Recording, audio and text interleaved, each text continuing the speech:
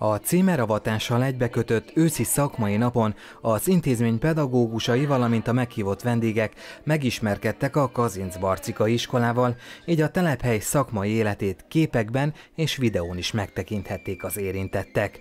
Az általános ismertetők után szakmai műhelyekben folytatódott a munka, a pedagógusok betekintést nyertek az alsó és felső, valamint az értelmileg akadályozottak és az autista tanulók mindennapjaiba.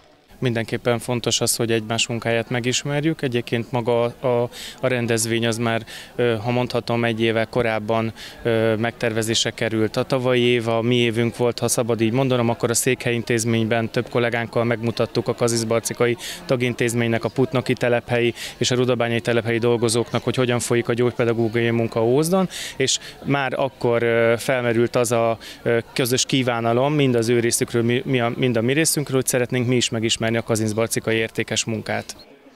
A szakmai nap programjai között felavatták az iskola címerét.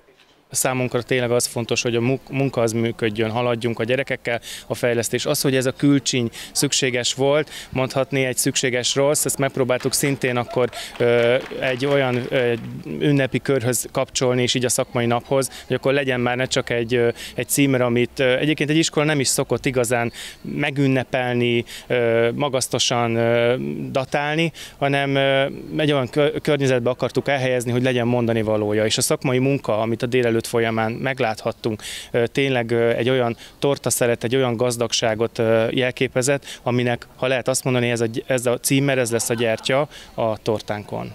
A jeles alkalom kapcsán Kozub Sándor intézményvezető úgy fogalmazott, hogy a barcikai telephely egy ékszerdoboz, ahol a legfontosabb a gyermekek szocializációja, valamint a napi oktató és nevelő munka minőségi megvalósítása.